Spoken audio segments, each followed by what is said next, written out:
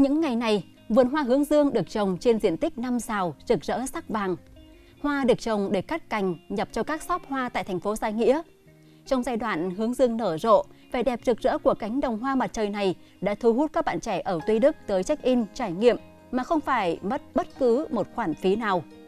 Một nhóm bạn trẻ đến từ xã Quảng Tâm cho biết, với xu hướng tận hưởng thanh xuân, các bạn thường chọn một số cảnh đẹp tại Tuy Đức để check-in, sau đó đăng lên mạng xã hội để quảng bá về thiên nhiên tươi đẹp của quê hương mình. Vì vậy mà ngay sau khi biết thông tin về vườn hoa hướng dương, thì các bạn đã sắp xếp thời gian để kịp lưu giữ những khoảnh khắc tuyệt vời.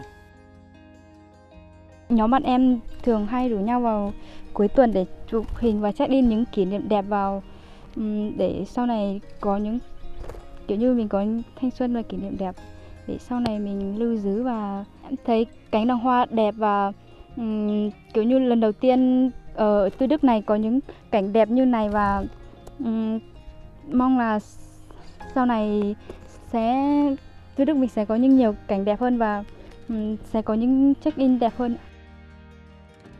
Nhiều năm qua, trải nghiệm du lịch đến các vườn hoa đang trở thành một trào lưu được người trẻ yêu thích. Và trong thời điểm dịch Covid-19 khiến những chuyến đi xa bị hạn chế, thì việc check-in vườn hướng dương ngay tại địa phương sẽ là trải nghiệm tuyệt vời cho các bạn yêu thích thiên nhiên. Đây là vườn hướng dương đầu tiên ở Tuy Đức có diện tích rộng, nên các bạn trẻ rất phấn khởi khi có dịp chiêm ngưỡng. Hôm nay thì trời đẹp thì bọn em rủ lại rủ nhau đi vào đi chơi thì lại gặp cánh vào cánh hoa hướng dương này thì em đã chụp được mấy tấm hình đẹp để giữ được kỷ niệm. Thông thường hoa hướng dương sẽ nở vào mùa hè khi tiết trời có nhiều nắng. Thế nhưng vốn là một loài hoa dễ trồng nên nông dân có thể khéo léo chăm sóc để hoa nở vào những mùa khác trong năm.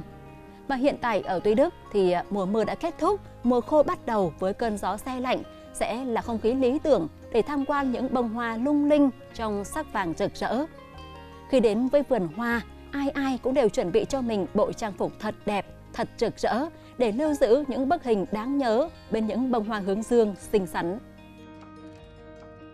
Thì mô hình hoa này em nay em cũng nghe nhiều người nói tới, nay em cũng tới thấy đẹp, em muốn mô hình này kiểu như là rộng hơn để uh, giới trẻ nhiều bức hình đẹp.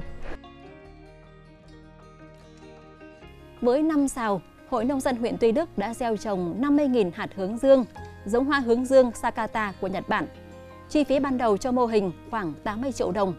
Dự kiến sau khi trừ đi chi phí, vườn hướng dương cắt cành sẽ cho lợi nhuận khoảng 100 triệu đồng. Mỗi năm có thể trồng từ khoảng 3 vụ. Nếu mô hình được duy trì và nhân rộng thì ngoài cắt cành, vườn hoa hướng dương còn là điểm đến thú vị.